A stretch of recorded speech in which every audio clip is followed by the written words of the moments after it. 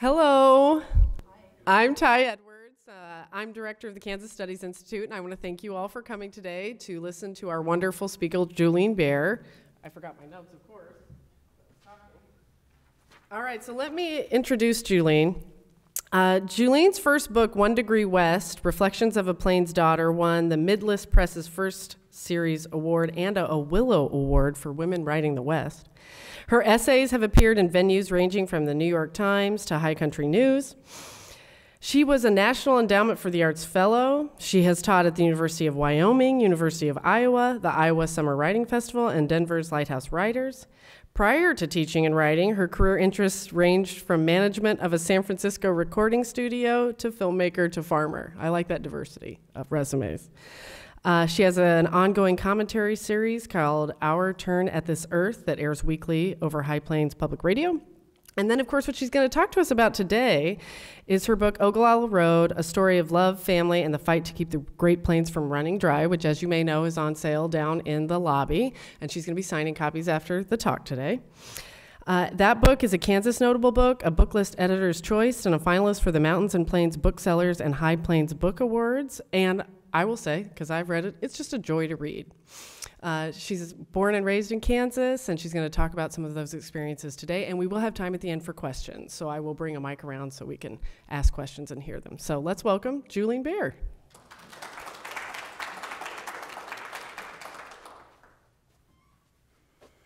Well, thank you so much for having me. Uh, it's a real honor to be here giving the Kansas talk, especially since I'm from Western Kansas and we never really thought of ourselves as figuring very highly in the map of the Kansas universe. My brother used to call us the armpit of the universe. So, but now I think, wow, that's figuring pretty highly in the universe to have a whole body part.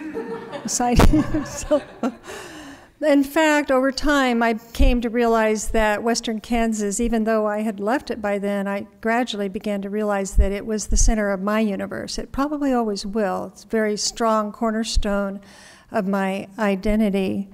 Um, I think that's largely because of the way that the sunshine there and it stretched forever, the vastness of it. Um, I'm a Westerner at heart and I believe I am a Westerner at heart because I grew up in the West. When growing up there, I never thought of us as in the Midwest. I thought we were in the Great Plains. Now you don't even find that map on geography textbooks and so on. You just see the Midwest and then the West. So somehow Kansas has been, Western Kansas has been conflated into the Midwest, which doesn't seem right to me because they are two very different geographic regions. When you go west in this state, about the time you hit Salina, the sky is higher, the sky is bluer and clearer, the distances are greater, the air is loftier, and you know you've entered a different climate, essentially.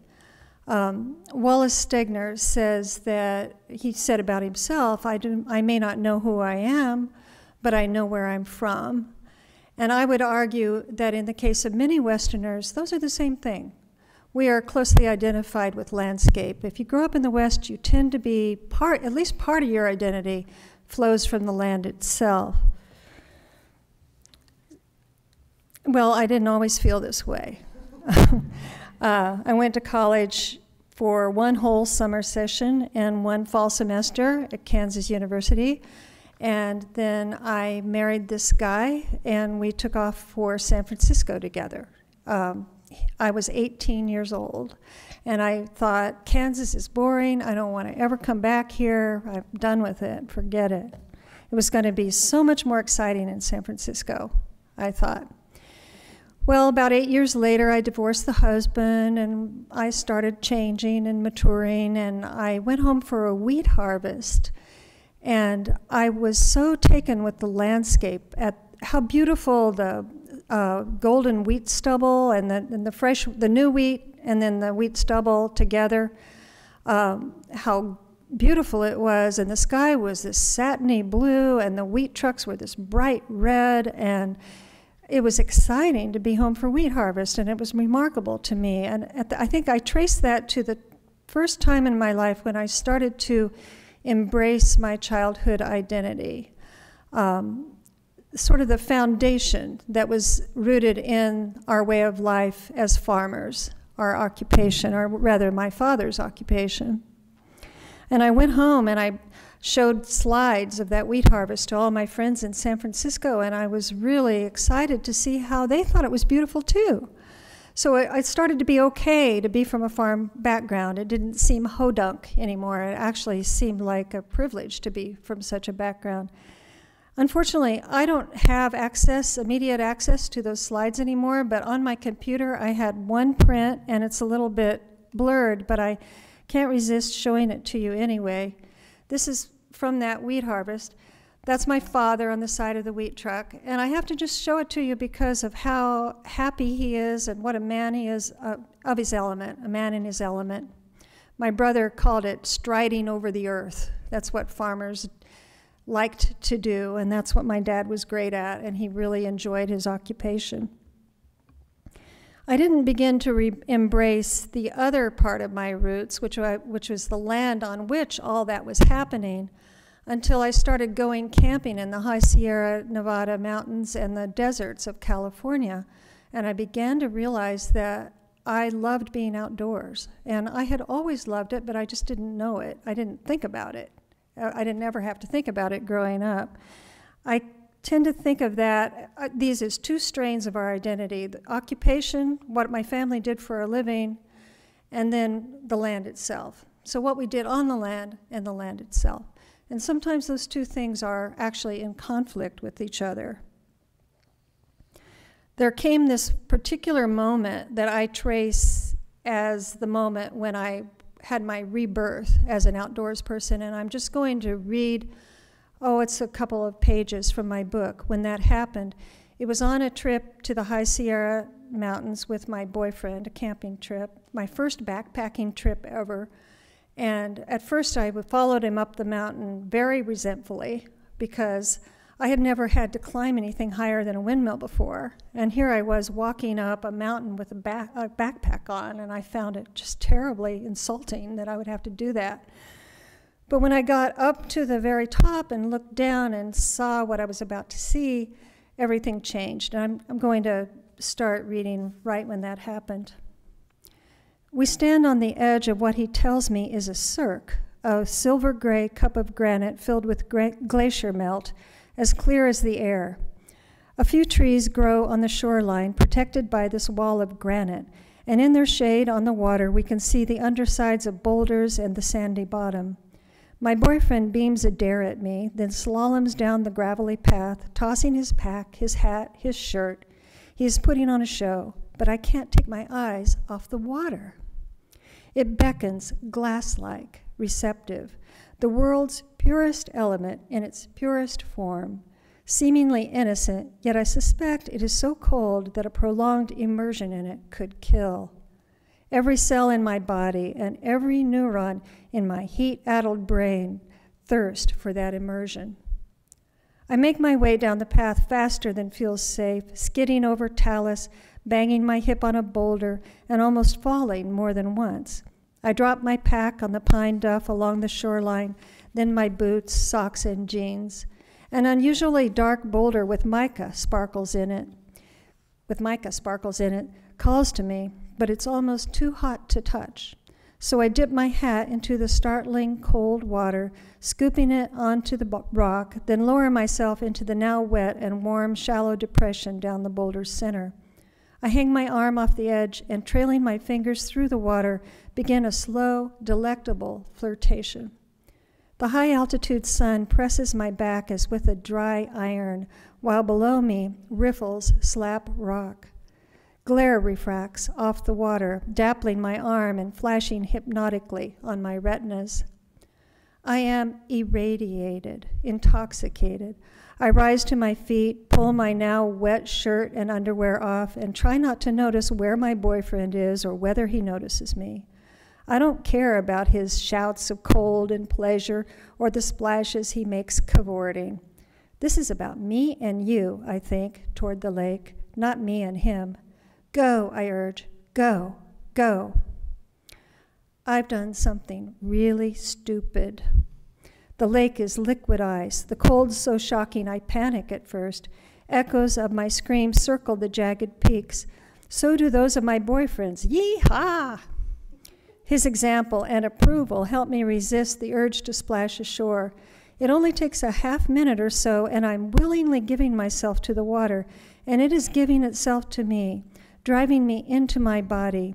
I am nothing but sensation, all of it glorious. I dive back under. I've never swum naked in broad daylight, and I love the water's silken feel on my skin. I love watching my hands move underwater as if I were a creature who evolved in this medium. Drifting like a fetus in a womb of laced sunlight, I ponder the startling clarity and whiteness of my hands and feet. But I'm beginning to feel this strange, hot sensation high in my stomach, as if a burner has ignited inside of me. This cannot be good. Because my brain has lost all sense and thrown me into this predicament, my body is resorting to metabolic triage, my blood abandoning my limbs and rushing to save my vital organs. I climb out and, shivering, lie down on my boulder. Soon the sun's high heat penetrates me, lifting and nullifying the lake's deep cold. Enlivened, awakened, I savor all to which I've been reborn the rasping call and obsidian sheen of a raven slicing the depthless blue above me, the tickle of my arms, sun bleached hairs as I drag my lips over them, breathing my skin's smell. The fragrance doesn't come only from the lake, but from granite, ozone, and pine. I did a lot of things during the six years I lived in the city after my first divorce. But nothing I did affected me so powerfully as that first dive into a mountain lake. I couldn't get enough of the scent of water and wilderness on my skin. I think coming from a dry place, I had a natural affinity for water, and now it, it became an entire immersion. And I've, ever since then, I have not been able to go near a clear body of water in the summertime without getting in. I have to get in to almost any water, and it doesn't really matter how cold it is. Eventually, I know. It's like I get this sinking feeling in my stomach when I see a very cold body of water, even in the springtime, because I know that I'm going to be getting in it before I leave. I just can't help myself. But I have a similar feeling about desert, interestingly enough. And I think that after this, my boyfriend and I went to uh, the Death Valley for a vacation, and I write about that in my book as well. And I think what it mainly was was the way that aridity frees light. I was enthralled by how everything is saturated with light when you're in a semi arid or an arid environment. And that was part of my childhood as well. So this was really sort of a waking up to the my landed identity as a child, to the natural world that I'd had as a child. So I became so enamored of the desert that I actually went and found this ranching couple who owned this little rock house out in the middle of pretty much absolutely nowhere, triangulated by Barstow, Needles, and um, Las Vegas, right out in the middle of that triangle and um, I got them to let me fix it up and move into it. This is the rock house that I lived in for a couple of years. And every afternoon, I would get the two things I love most together. See if I can get it to go there. I would go down to this stockwater storage tank, which is about six foot tall, and it was right next to this windmill, and I would dive into this bracing cold water that was being pumped to the surface uh, from deep underground. And right next to the uh, storage tank was this cottonwood tree, and in the cottonwood tree there were tanagers nesting, and sometimes there were red-tailed hawks. So it was a really beautiful spot. I wrote about that uh, just very briefly, a couple of sentences. Daily I evol- revolved my arms and legs extended like clock dials at the center of everything water and desert. The water being the desert's most profound expression of itself, the antithesis without which desert could not exist, the joy that made its barren beauty habitable. So these were the two archetypal poles that actually defined my childhood landscape as well water and desert.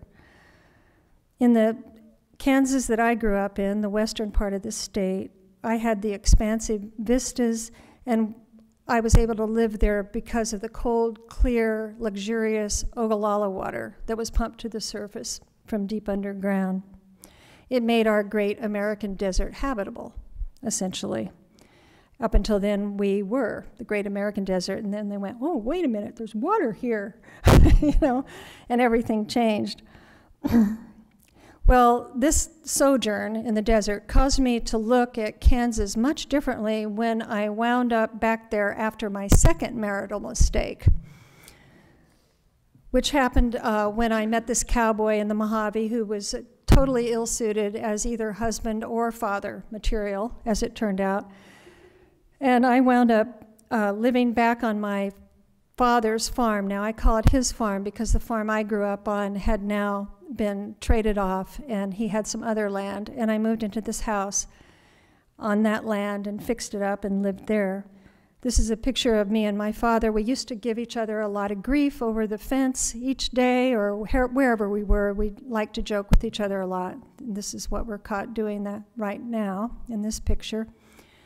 And actually, even though it was quite humiliating to be back home under these circumstances, as you can imagine, I mean, I went away thinking I would succeed out in the big world, and here I came home having made another bad choice in husbands and um, needing family help. But my father and my mother were very gracious in offering me that help and very supportive.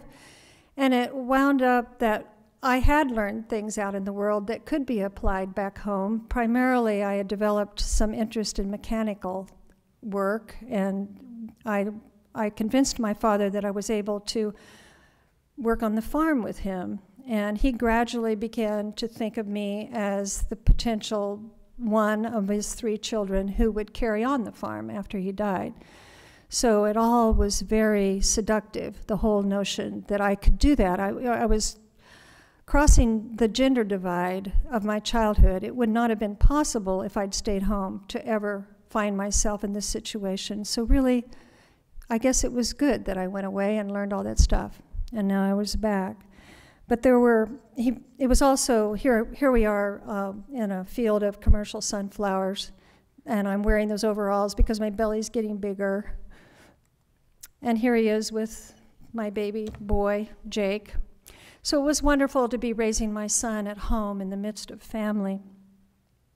But there were some problems, and they mostly had to do with the environmental issues for me. I didn't like the number of chemicals we were using on our crops. That was frightening to me. I felt like raising a son there that was particularly dangerous to him. Uh, and those chemicals came right up to my yard fence and beyond if I didn't stand my ground, which I had to stand my ground frequently. Um, also, many of the grasslands that I had grown up just taking for granted were no longer there. The pastures, the large pastures, and so on. Anything that was arable had pretty much been farmed at this point, and it was disappointing to me to see the grasslands disappear. But most important was um, the water. The water is what troubled me most of all. And so I'm going to read again from the book about that issue.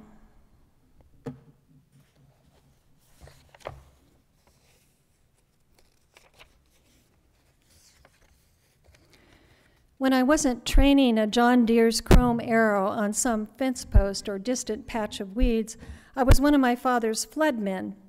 He would eventually convert to center pivot sprinklers, but when I lived there, we were still irrigating mostly out of huge pipes laid along the tops of the fields. Each summer morning and evening, I would belt Jake into his car seat in the blue Chevy pickup Dad had bought me for both farm and personal use and drive out to the corn. As I knocked the floodgates open, the water would gush out in beautiful arcs, and with such force that if I tried to slice my hand through it, my arm would be thrown back. To direct the water into the furrows, I placed socks, tubes of woven plastic mounted on wire hoops over gates in the pipe. Having lived in the Mojave, I quickly adjusted to working in hot sun, and the work led to sensuous exhaustion at each day's end. In Main Street, I wrote in my journal, Sinclair Lewis calls the look of the land at sunset fulfilled. True of the land's creatures, too. Work and my past here made me one of these. But life in the desert had also sensitized me to the value of water. Imbued with the respect water demands where it is not readily accessible, I greeted the appearance of so much of it coming out of the ground in our desert like heat as surreal. Why didn't all High Plains farmers, who had surely grown up conserving water just as my mother had, her father making her drink all she poured into the tin cup that hung on their windmill, not mistrust such bounty?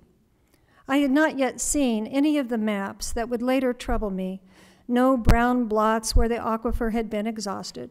All I had to go on was a gut feeling. I knew we couldn't draw that much water from the ground and expect to see it flowing forever. What would we do when we ran out? What would the next several thousand generations or years of High Plains inhabitants do for water? As I lay in my bed at night, the backs of my lids strobing with images of all the rows of corn I'd driven past that day, and of silver water snaking down each furrow, the incessant growl of the pumps plagued my conscience.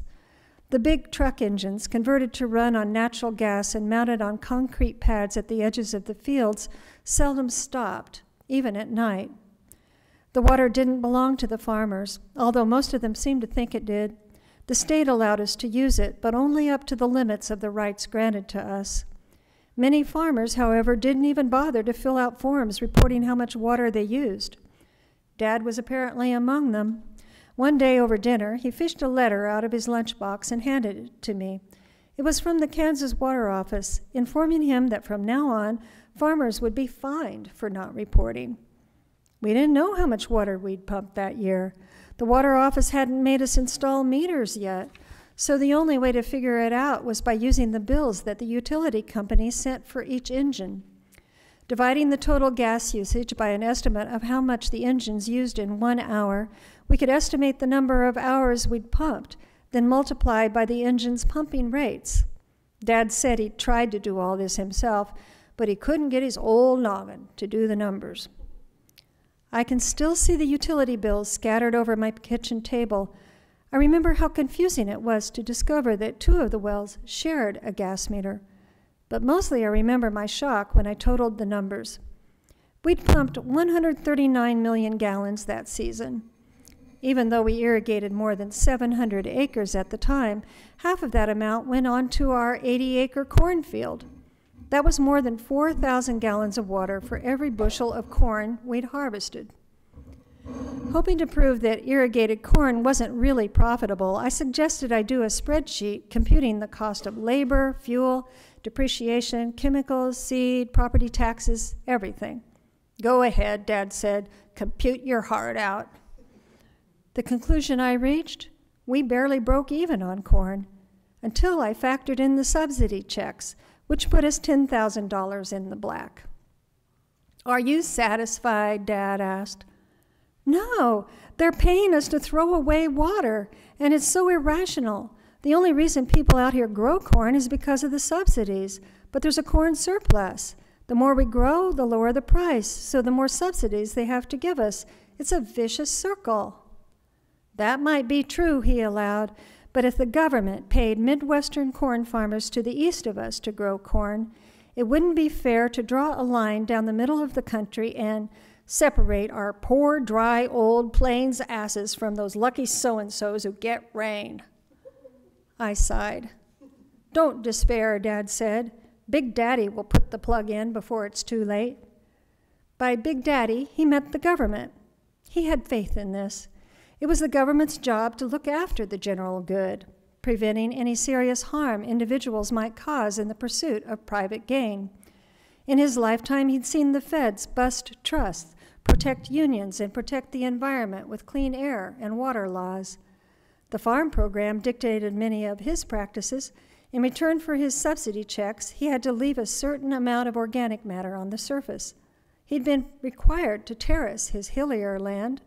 The Soil Conservation Service, set up in FDR's presidency, enforced these measures to prevent our topsoil from abandoning itself to water erosion or the wind from picking it up and dropping it on Oklahoma as it had done during the Dust Bowl.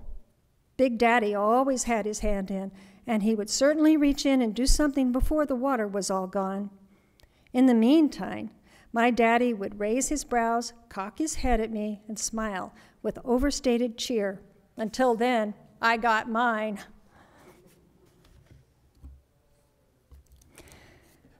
He always said that to me, and it always got my goat. But in fact, he didn't want to see the water gone any more than anybody else. He just thought that he was a businessman, like any other businessman. His job was to make money for his family, and that's what he was going to do until someone told him he needed to do, to do things differently. He had gone to college ag school. He knew that the water would not last forever. The title of this talk, The Water That Could Last Forever, was a myth. It could last forever if we didn't irrigate out of it, but because we irrigate at the rates we do, and we were only one of 32,000, we are presently there are 32,000 irrigated farms on, that are pumping Ogallala water. So you can imagine um, that over time, that's just not sustainable. So it was really a myth, all the way back to 1906 when Willard D. Johnson, a government geologist, came out to survey the High Plains for the Department of Agriculture. Um, we've known that it wouldn't last if we irrigated out of it. He said that irrigation would soon exhaust the stored supply if we could figure out how to irrigate out of it. Every scientist who came after him predicted the same thing. So the degree or the measure uh, to which people, well, the degree to which people believed that the water could last forever was really just a measure of their denial. And, but you wouldn't find very many deniers out there anymore. Most people really do know that the water is soon going to be exhausted. The, what, I went on to do water reports for my family for the next 20 years. The 139 million gallons that we pumped that year was not that much, really. We, there were many years when we pumped more than 300 million gallons out of those five wells. Farmers do want to conserve. They are making a lot of strides towards conserving. They're using better technologies. There's water probes being used now, telemetry on the sprinkler irrigation systems, which are themselves much more efficient than the flood irrigation that we were using. Farmers can now control their wells with their cell phones. When the, when the moisture probes tell them that it's time to turn the sprinkler off, they can do it no matter where they are there aren't a lot of adapters of that technology yet, but it's really growing. There's more and more farmers using that technology. They're also beginning to impose some limitations on themselves. In GMD4, the Groundwater Management District, where I'm from, they just passed another uh, LEMA, where they're limiting. It's I always forget what LEMA stands for. I was going to look that up before the talk. and forgot again, but it means that they're limiting the amount of irrigation water they use in a particular area. Now, that, now there's a district-wide LEMA where everyone who is falling at a particularly fast rate is being cut back in the amount of water they can use, and that's a self-imposed restriction. So you have to hand them some credit. And also Kansas is being very, very forward-thinking in this, comparatively speaking. Um, but when you talk to farmers, most of them will say, well, they've got kids that they want to have be allowed to farm. They want their grandchildren to be able to farm. So they want it to last for at least, you know, what can they pray, what can they hope for? Maybe two or three more generations. But to me, that's, that's actually very short-sighted, especially when you think that that water has been around for the last 10 to 20,000 years. It supported Paleolithic man going all the way back to the Clovis culture in New Mexico. That's an Ogallala area uh, where there's no more surface water, and so you couldn't support Paleolithic man back there now. Uh, same with the Hells Gap people in northeast Colorado. I have a cousin who ranches there where they had a Smithsonian dig of a bison kill site that goes back 10,000 years. That was on the Arikaree, which was named after the Arikara Indians. That water no longer runs. So, really, I think it's kind of short sighted to just talk in terms of a couple generations. But when I suggest that, I'm considered a little bit radical when I suggest that to farmers. Um, we're used to seeing, well, actually, I think I was, okay, I'm a little turned around in my slides, but here's a picture of what's happened in, in terms of depletion. When you look at Nebraska, you'll see there's still lots of water. It's blue up there. That's because it's the sand hills. Parts of Nebraska are in trouble. Uh, in the southwestern part of Nebraska, there is not very much, where's Nebraska? There's not very much water anymore. And going into Kansas, these dark red areas, that's 75% decline in those areas.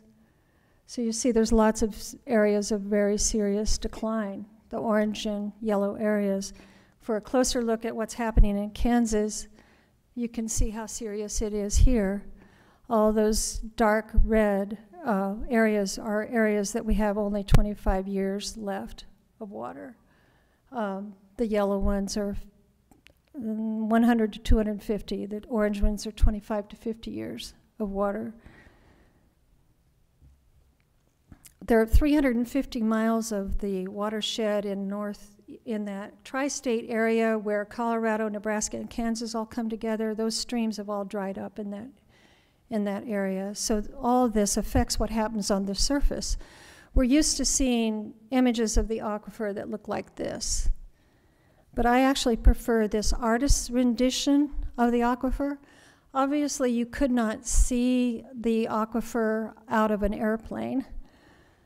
But I like this because it shows the connectivity between the reserves that are underground, those blue watery looking areas. Whoops. those blue watery areas and how they connect to streams that's feeding the Platte River there. And when you think of the rivers that cross the plains, almost all of them rise directly out of the Ogallala Aquifer. They don't rise in the mountains. The Platte does, but it's also fed by the Ogallala. Uh, one fork of the Canadian does, the Arkansas does. But the rest of the rivers out there all come up from the Ogallala Aquifer. But when, when we talk about the aquifer and the state debate that's been going on around what to be done about the water, very seldom does anyone talk about the land, or very seldom does anyone talk about the effect on the streams in those areas. To me, the health and beauty of the landscape is the real bottom line. We're always talking about the economy, and that's very important, obviously. People can't live without earning a living, but uh, they can't live without water either. I define beauty actually as a survival instinct in my book. I mentioned that when we perceive beauty on a landscape, what we are actually seeing is the ability of that landscape to support, to support life for generations to come. So the real bottom line is whether or not is what the landscape itself looks like. And there we're seeing a lot of losses. We're in the red. We're not seeing gains at all. So in me, there's, there's been this disconnect between these two sources of my identity between the occupation that my parents practiced and between the land. So it's sort of the house within the house. Our farming was a house within a house. And the big house, which is the land itself, is suffering. There's this Milan Kundera uh, quote that I ran across the other day where it, he said, Struggle of men goes against power. The struggle of men against power is the struggle of memory against forgetting. I remember what Kansas was like in my childhood. It's not pure nostalgia. I remember a healthy place. And that's part of the role of the writer and the memoirist, I think, is to record memory. If you don't do it, someone else is just going to erase those memories. It's as if they never existed. I remember what the place looked like, and I cannot stop remembering it. It's a major source of my identity. It's the whole reason that I write. So when I, uh, oh, by the way, there's the watershed, uh, an illustration of how the creeks and rivers have dried up over the years from 1961 to 1994. This is a farmhouse that I grew up in. You, you would think this, this picture was taken before I was born, actually, but you would think that this house was built to stay, that we were there to stay. There's the grasslands that I grew up around. I can't stop remembering what those grasslands looked like. And every time I drive through that part of the country, every time I see a little patch of grass, I have to pull off. I'm like my dad, he used to, he'd see a farmed field and he'd start driving toward the ditch because he was checking out some other farmer's work. But I'm like that with grass. I see that grass and I have to stop and look and gaze and take pictures. Kansas was a wheat state. Wheat was appropriate for our environment. Kansas still is a wheat state. It's appropriate for our environment because it was um, brought over from the steppes of Russia, uh, which is a very similar climate. It's a very drought tolerant crop and it survives winters. It's winter wheat. There's my father in a wheat field testing a bud for ripeness. Now, this next slide was supposed to be a picture of a windmill with a windmill creaking, so you get a sense of what the used to sound like to bring water to the surface, and it sounded like this. okay, that's what it sounded like. A very gentle, kind of quiet, uh, serene sound. This is what the streams looked like in western Kansas, and there still are places where you can go and, and see places like this. This was in Thomas County just last spring. This is called Cumberland. And this is what I look like when I find those places.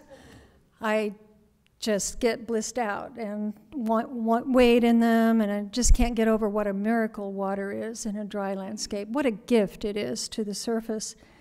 I ran across this beautiful definition of spring when I was writing the book a place where water flows from rock or soil without the aid of man. It's a beautiful definition, and that's the gift it is to us. Now, this is the irrigation sprinkler that replaced that house I grew up in. And the landscape is, where I come from, is largely empty of people now. Most of the farmers have moved to town, and many farmers have moved away entirely. Here's an aerial photo of what the landscape looks like now. The gray green places are those pastures. That's all that remains of the pasture lands. And they're usually still there only because they're not really arable. They're probably too steep to farm. This is what we replaced it with, which is a beautiful crop actually. You can't argue with that. And every farmer loves to see corn. But this is what the landscape sounds like now.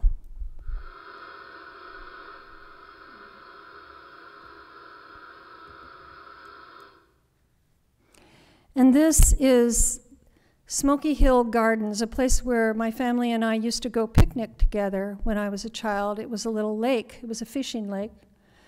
And it's totally bone dry now. If you go due west of this, you get to a place called the Sherman State Fishing Lake, which is bone dry. Most of the Smoky Hill River in that part of the state is dry.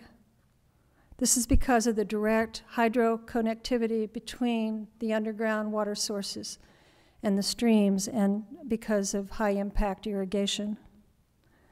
So I think Kansas is a microcosm for the nation.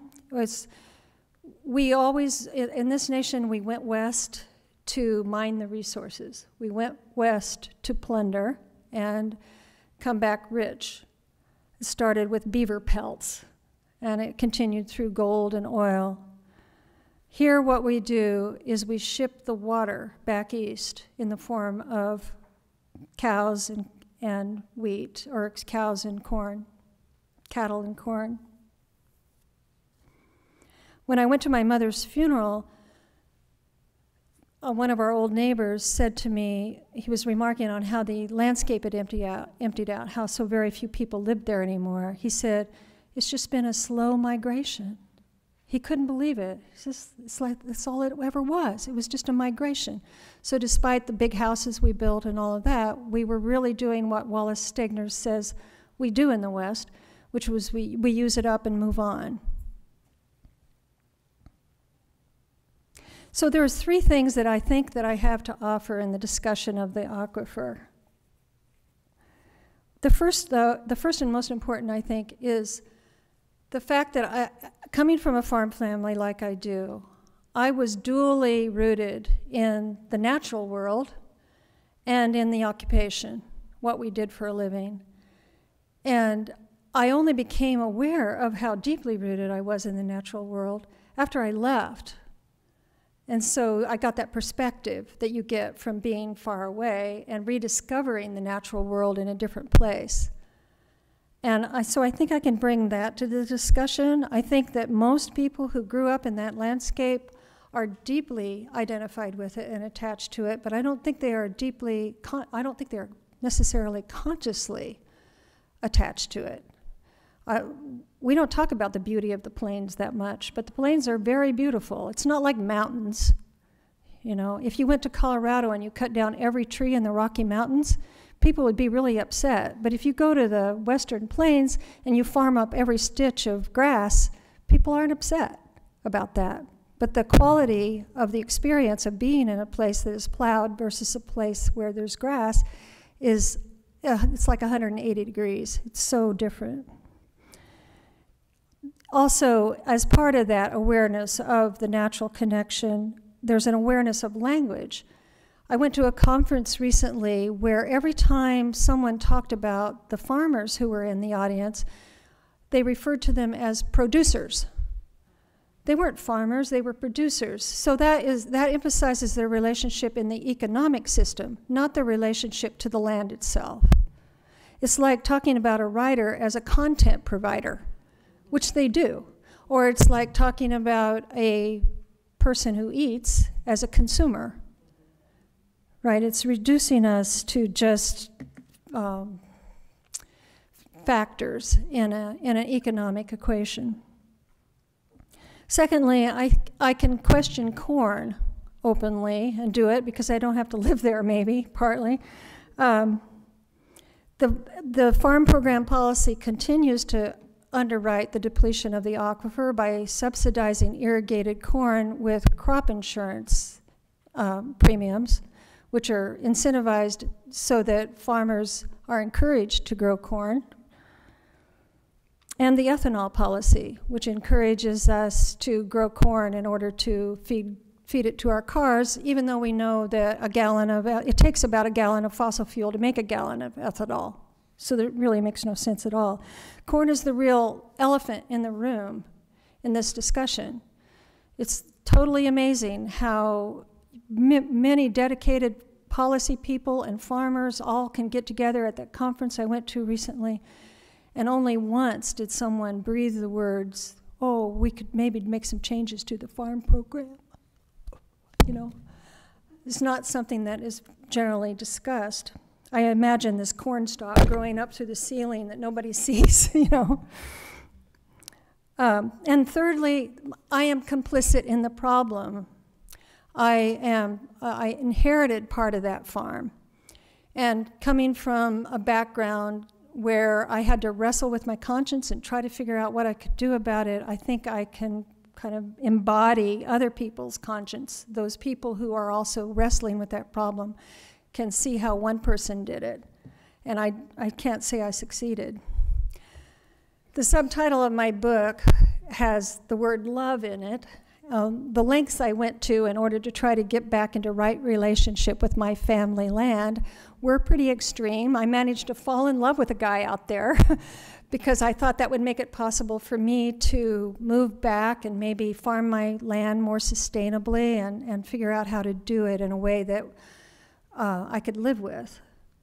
As it turned out, well, that guy and I went um, out and explored the land a lot too. I wanted to share that with you, and I became more aware of the Cheyenne Indian history there, and I became much more deeply acquainted with my landscape, the landscape of my birth, than I had been, uh, grow, actually growing up in it. So that was a, a good thing. But eventually, this guy decided we weren't going to work out and broke up with me. And as a result, I was kind of left trying to figure out well, is there a way I can go back there and live? Is there a way I can farm it? My brother wanted to get out. He was it, it was causing him a lot of stress. He started talking about selling. My father had always told us, hang on to your land, and we had always thought we will. We are the only people we know in our family who might do it, but we'd be the last people to sell. But eventually, uh, partly because I thought I could escape my role in the problem, I agreed to sell and I'm going to pick up where that, where that decision got me. I'm getting close to the end here. All you need to know in this following passage um, is that I refer to the three brothers who bought our land as the linebackers. They're big hulking guys. And my father's name was Harold. I sat in the hallway of an old dormitory on a campus that was once a seminary in Cañon City, Colorado. It was 2008, two years after we'd sold the farm. The organizers of the Buddhist retreat had placed wooden chairs outside three doors. Behind the doors, the teachers were granting private interviews. I was next in line for Terry. I'd chosen her because she was the only female teacher and because when students asked questions after Dharma talks, Waves of emphatic emotion, empathetic emotion crossed her face like the shadows of clouds sailing over prairie. I expected Terry to be in the lotus position she had amazingly held throughout the previous day and a half of the retreat, but now she sat like a normal 60 year old in a stuffed vinyl chair. She had long gray blonde hair and a welcoming presence. How was the retreat going for me? Did I have any problems meditating for long periods? she asked. No, other than I tended to get sleepy. That's not uncommon, Terry said. Go take a nap if you need to. Sometimes people come here for, from working nonstop. That's me, I said. I've been writing a book for what seems like forever. What is your book about? At first, it was about the Ogallala Aquifer, the water under the Great Plains. But it turned out it was about more than that. My family and this man I fell in love with who lived back there, except he broke up with me, and then we sold our family farm, and I discovered that's what I'd been writing about all along. Selling the farm? Yes. It was up to my brother and me to save it. I mean, this has nothing to do with the Dharma or anything, but that's what I've been thinking about when I'm supposed to be meditating. Is your father still living? She does have a way, I thought. He died 10, no, 11 years ago. I haven't quite come to terms with selling his farm.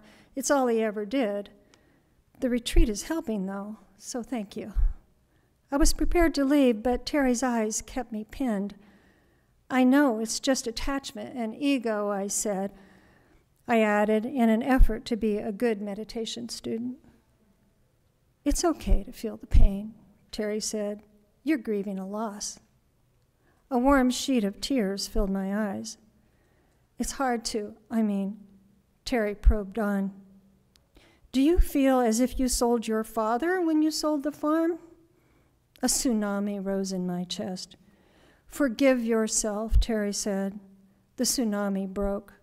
I hadn't let myself cry this openly in front of anyone since Clark died, my face contorted, mouth open, lips downstretched. Would he want you to feel bad? Terry asked. I could hardly breathe, let alone answer. I grabbed a tissue from the strategically located box. He just wanted to share all he had with you, Terry said. He wanted you to have his connection to the land. Dabbing my eyes with the tissue, I said, I'm not so sure about that. No? Do you want to meditate on it for a minute?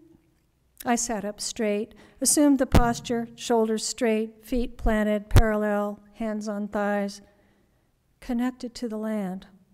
I tried that phrase out on the dad in memory, the dad who presided perennially in my psyche.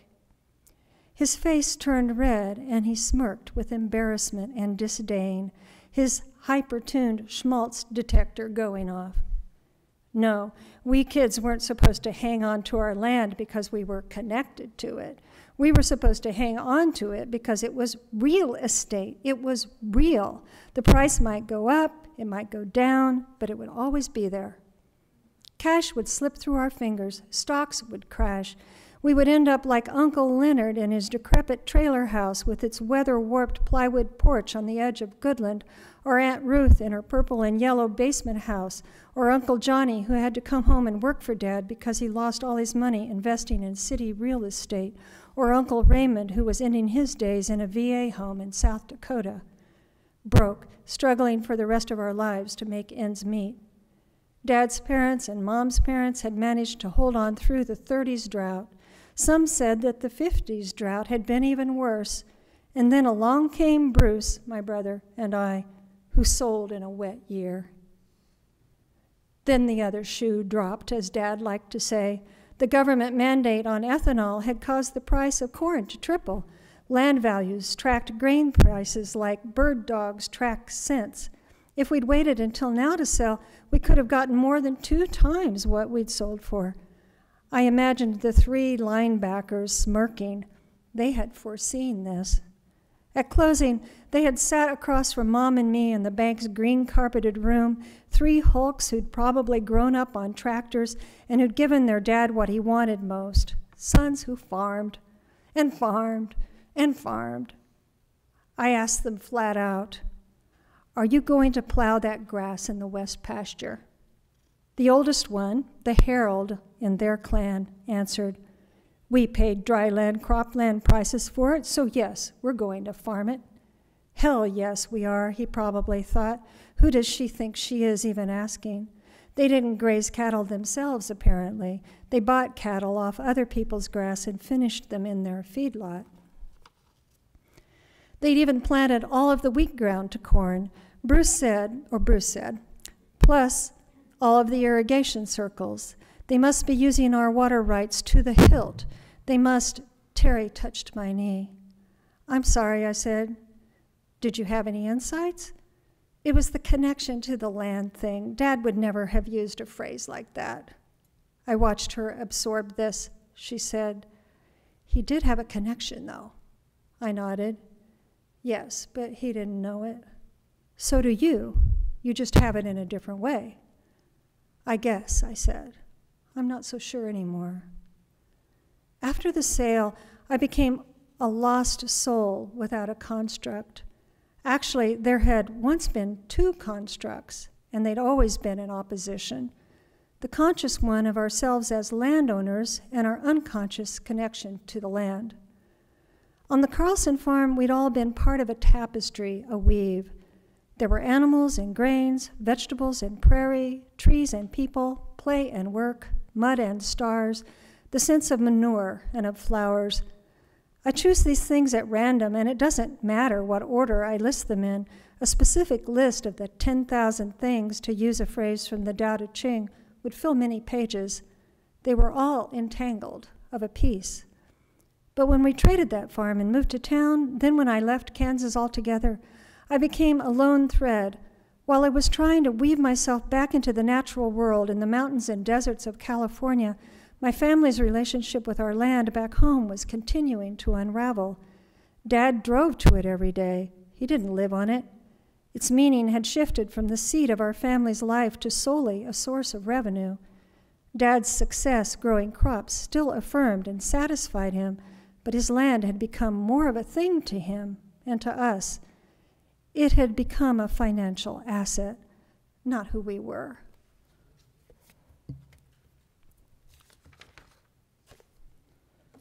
So I asked myself after the sale, who are we now? And that it was a terrible identity crisis, I have to tell you. And I think that not knowing is not knowing who we are, not knowing that that land actually made us who we are, not knowing that we actually love the place for what it is and not what we did there, is the key obstacle that prevents us from preserving what's left of the natural world there. So I write today in order to retain my identity I've actually been writing to retain my identity all along. When I went back to school in Iowa and started writing, I thought I was going to write about the Mojave Desert. I thought I was going to write about San Francisco, but I was writing about Western Kansas. And I think I was doing that because my relationship to that place was always at risk, and I didn't realize how at risk it really was. But I have no physical roots there anymore, just mental ones and spiritual ones. And I have to tell you that they are strong, and they are getting stronger all the time. And when I come and do talks like this and think about, okay, what do I think now? What's changed? What's, what is my message now? It's always everything I'm doing and thinking about and writing about is still about Western Kansas. When I do the commentary series for HPPR, it's about Western Kansas. It's like I live still in that place in my head. I still really live there. It's a very simple. I'd like to say that I went, I thought it'd be kind of a nice play on words to say that I went from um, an identity complex, like I talked about earlier, to a complex identity. But that's not what happened. I went from a really simple identity. I went from an identity complex to a simple embrace of the identity I was born to be part of. So if uh, you think I'm preaching, you can tell me to go jump in a lake, and I'll do it. Um, because the true love affair is with water, and that was the true inspiration of this book. Thank you.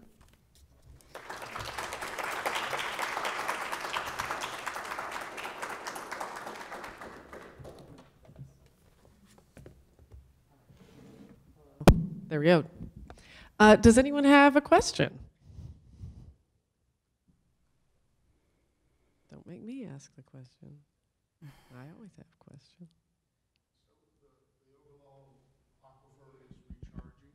just not as fast as it's being consumed.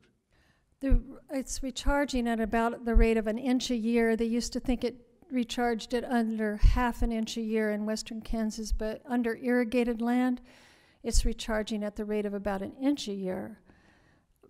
There's some disagreement now. I wouldn't call it disagreement. There's a new study out that's saying that maybe it's recharging faster than we thought it was. Um, the study that came out at the end of 2013 from Kansas State University said that in 50 years, 70% of the aquifer would be drained in Kansas. If you're left with only 30% in any given area, that's really usually not enough to irrigate with. You start pulling sand up, and the cost of pumping gets extreme. And you can't pump at the rate you, you formerly pumped at. But now there's a new study out, um, which is a more restricted area, where they're, start, they're thinking that, well, maybe um, maybe we'd only have to cut back about 27%. The Kansas State study said that you'd have to cut back 65 to 85% in order to level out so that you had no more declines. This study is saying, well, maybe they only have to cut back that much, which is actually a reachable goal because with this new technology, they are capable of doing that. It, there would have to be um, mass adoption of the new technology and incentives, getting people to use it. But, you know, the truth probably lies somewhere between those two extremes. Uh, it probably is going to take a, a cutback of maybe 50% or something in order to level out the declines.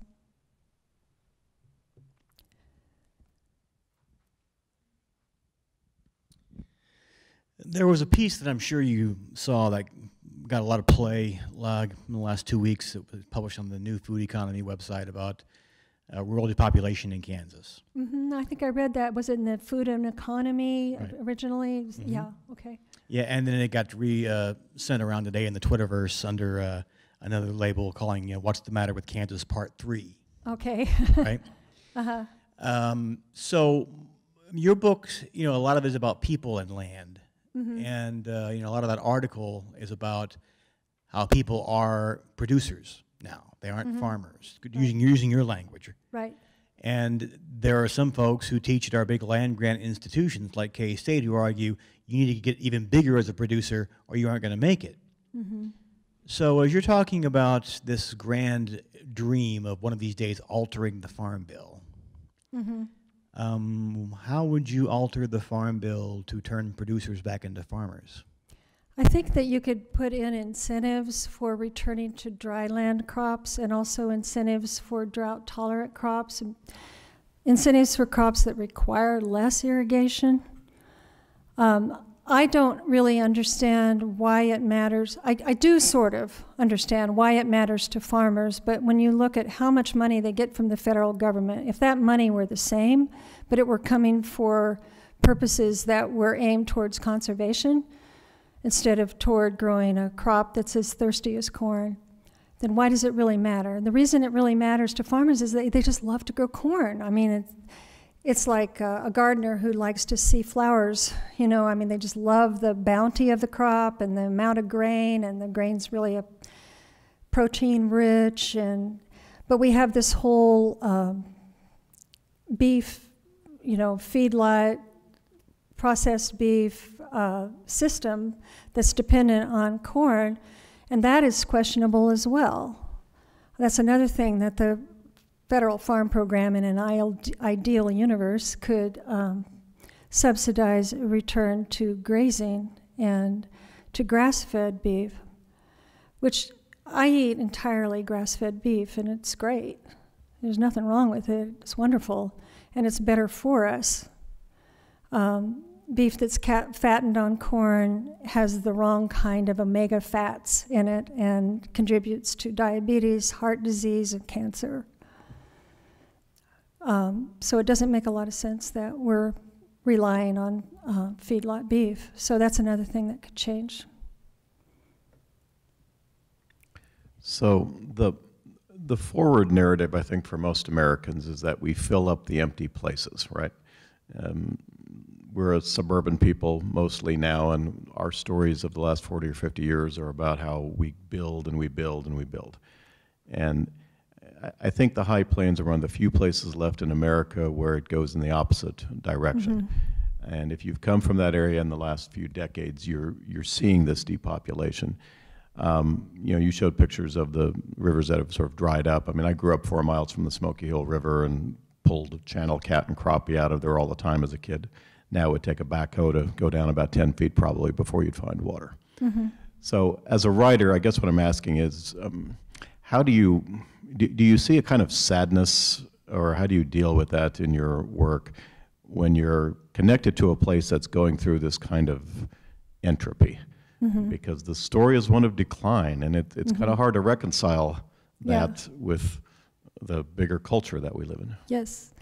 Well, uh, yes, I feel a lot of sadness, and I think the sadness that I feel drives my work. I want to speak out for what I love. It's sort of like seeing your mother die in the nursing home and not go to her bedside. You know, I'm going to be a witness. But also, uh, in the act of writing, I'm envisioning a universe, or not a universe, a world that, uh, that is the world I want to live in, and that's what we have to do in order to make change. I'm just one person, but I'm one person that has that vision. I'm sharing it with others, hopefully spreading that vision a little bit. And when I can imagine, it's a lot easier to imagine a positive future when you're doing what little bit you can to make that future happen. Um, otherwise, it's very difficult to live with yourself. I think I think we all need to contribute in some way to what to correcting the problems that we really care about most. And this happens to be the one I care about most. I was back for the high school reunion in Goodland uh, actually, I got to ride on the homecoming float. Uh, I got to ride on the hay wagon. you know, every 50 years, you the, the 50 year graduates get to go back and do that. And what I was amazed by, even though, yes, the town is suffering, yes, there's a whole bunch of empty stores on Main Street, was the people who did stay and are just such contributors to that community. And they were coming out and they made that whole parade happen and organized the everything and they're doing their duty every day you know and i can't live there anymore because of the way my life has evolved but i can still do my part. They're still trying to make that community work and i so i can do my part to try to make kansas make sense again in my in my estimation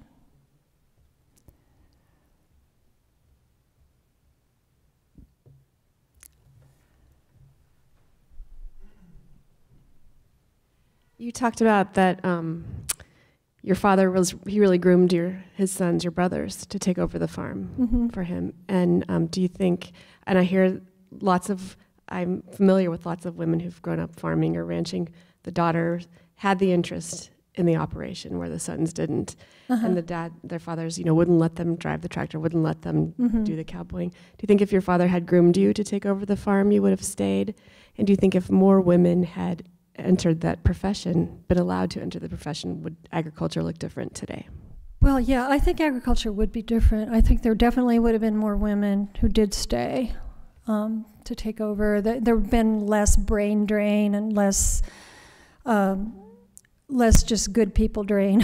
you know, uh, me personally, I'm not so sure. Uh, maybe, but that was that, that era I grew up in. There, there was so much emphasis on the sciences, and there was so much emphasis on um, well, our self-image of ourselves was not that great. I mean, it was it was like conflicted actually. On the one hand, we we were very proud of my dad, and he was a very successful farmer, and we were really proud of that, you know. But on the other hand, he wanted and he wanted his sons to farm. But on the other hand, we didn't think that farming counted as um, as as an occu- it, it, it wouldn't speak well of us, and I think that might have been me too. I mean, not only my brothers felt that way, and I think I would have felt that way too. Maybe I would have thought, no, it's not. go- I don't get to make my mark on the world. I need to make my mark on the world. Exactly. I think so. Yeah. You know, and I, I left, and then when I came back in the 80s and I looked around, here I was, a single mother with a baby boy, and I looked around and I thought, hmm, maybe the people who stayed had it right. You know, because they, they had extended family and, you know, they, they were raising their kids in a healthy environment, kind of, if you didn't count the chemicals. But yeah, that was the first time it ever dawned on me that, hmm, maybe I made the wrong decision when I left.